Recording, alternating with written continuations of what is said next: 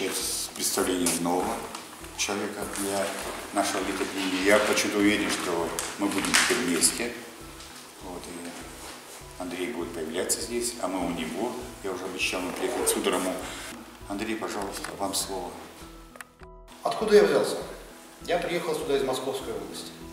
Приехал не потому, что скрываюсь от элементов или налогов, но поскольку я сам по себе человек северный, я родился на севере, вырос, стал мужчиной, зрелым человеком, я стал все-таки на Колыме. Вот. Но на Колыме до сих пор бываю, э, не часто это случается, но каждый мой приезд туда праздник. К сожалению, э, моя деятельность нынешняя не позволяет мне жить там постоянно. Я бы вообще-то хотел бы жить там. Но волей случая, оказавшись однажды на русском севере, я понял, что если я хотел бы где-то жить, кроме Колымы, то это здесь.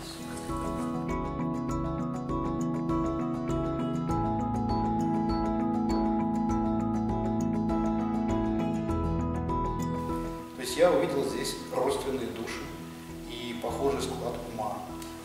Я прожил на материке, ну, или на Большой Земле, как у нас называют, центральный район России, на Колыме, э, около 30 лет. Но я так и не стал местным. До сих пор, когда меня спрашивают, ты откуда, я всегда говорю, что я магаданский, я колымчанин. Когда я увидел, что у меня очень много подписчиков, и мои рассказы и статьи люди читают, я понял, что я не имею права писать только для самого себя. Потому что раньше я просто писал, ну, потому что не мог не писать. В марте месяце э, издательство «Концептуал» выпустило книгу э, «Малая энциклопедия Большой Тартарии». Э, Я понимаю, что кто-то из вас сейчас ухмылется и скажет «до свидания». Не спешите.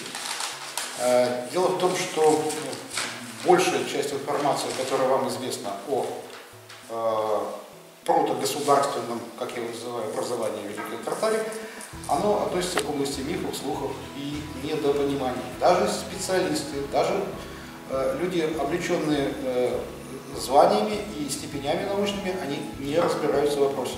Единственный человек, который был наиболее близок к этой теме, кто действительно был не специалист, был Лев Гумилев. Вот. Если вы почитаете Льва Гумилева, то вы очень много узнаете правды о прошлом нашей страны. Многим она не нравится, многие пытаются ее использовать в своих интересах. И, в общем, здесь у нас, как обычно, русские качели. Из одной крайности в другую. Одни энтузиасты кричат, что Великая Тартария это была славянская империя, а другие говорят, что это вопрос западных разведок и что этого ничего не было. На самом деле не правы ни те, ни другие. Истина, как всегда, посередине. И э, это истина, но, наверное, я ближе всех к ней подошел. Это не кривя душой, но положа руку на сердце. Не, не сочтите за хвастовство. Но просто действительно единственным специалистом в этой области знаний исторических, кроме меня, наверное, существует только один человек. Он живет в городе Томске. Его зовут Сергей Игнатенко. Можете посмотреть его канал на ютубе. Еще раз. Сергей Игнатенко. Кстати, забыл сказать, что эта книга, вот эти три тома «Малой энциклопедии Большой Тартарии», они здесь есть в библиотеке, вы можете взять почитать. Вот. То есть не обязательно ее покупать, потому что трехтомник сейчас стоит около э, 200 лишним, 200 Около двух. Ну, 2, 2 с небольшим, 200, 2300, если покупать в интернете, а если покупать в магазинах, ну я даже не знаю. А мы сумасшедшие с женой, и мы вот ввязались в это дело многомиллионное вообще-то, там, потому что там миллионом рублей не обойдешь, а у нас нет даже вообще ничего. У нас нет никаких накоплений, у нас нет пенсии, у нас нет э, квартиры в Москве, как некоторые думают. Э, то есть мы живем только на то, что сами зарабатываем, и на эти же деньги восстанавливаем этот дом. Своими руками мы не можем нанять э, строителей, э, осваиваем все строительные обязательства, вот буквально на ходу. Территория дискуссионного клуба Дом сохранения истории Инрок, в котором будет конференц-зал, в котором будет э, помещение для того, чтобы можно было отдохнуть и даже на ночь остановиться. Э, можно будет там и покушать. То есть мы планируем э, сделать это место доступным для туристов, для специалистов, для того, чтобы там могли собираться люди искусства, люди культуры, люди науки, проводить э, конференции, семинары, мастер-классы, э, вот все, э, все, что с этим связано.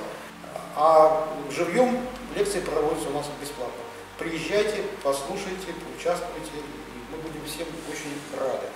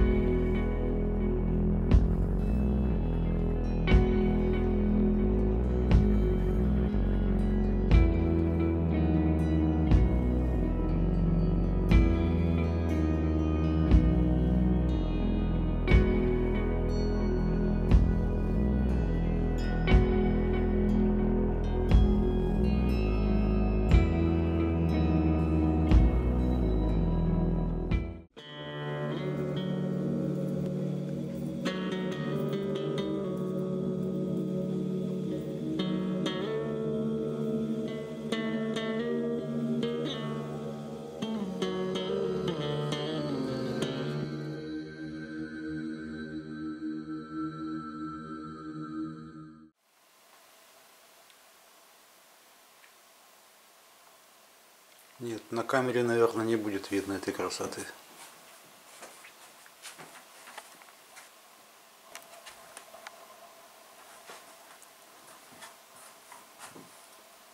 Фантастический свет.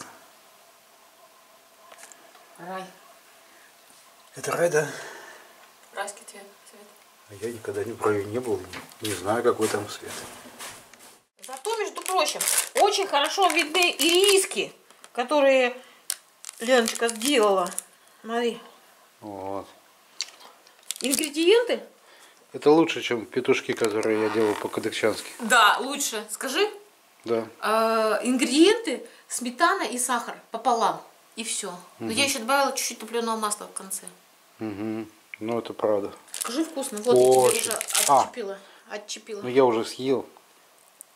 Прямо это, тысячу раз вкуснее, чем вот были в детстве И ириски. они вот так вот гнут. Ой, вот они ломаются, кстати, уже. Они уже подсохли, они уже ломаются. На.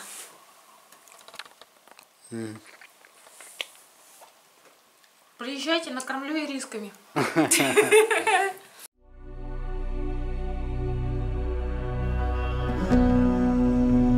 Кадыкчанские. 27 июня 22 года.